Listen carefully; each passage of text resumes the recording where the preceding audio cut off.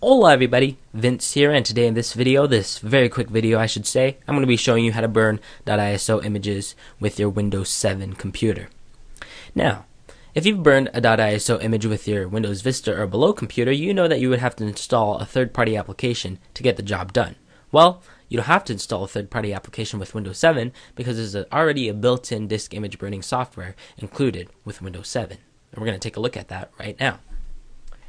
So here's a disk image, my Slax Linux distribution ISO file, and I've worked with this file before. I've used it in my virtual machines video and my create a bootable USB drive video. And so Slax is just a Linux distribution. You should try it out. Just go to Google and type in Slax download.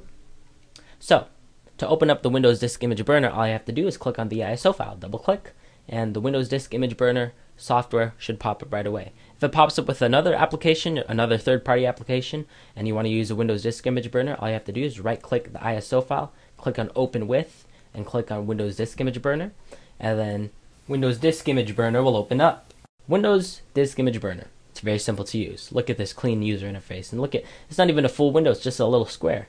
So, let's go step by step on what it has. Disk image file has a Slax ISO name, so it just tells you the name of the file you selected to burn with the Windows Disk Image Burner software. Choose your disk burner, so if you have more than one disk, make sure you have the right disk chosen. Click on Verify Disk After Burning. I recommend you click on that so you know that the disk is working properly after it's burned.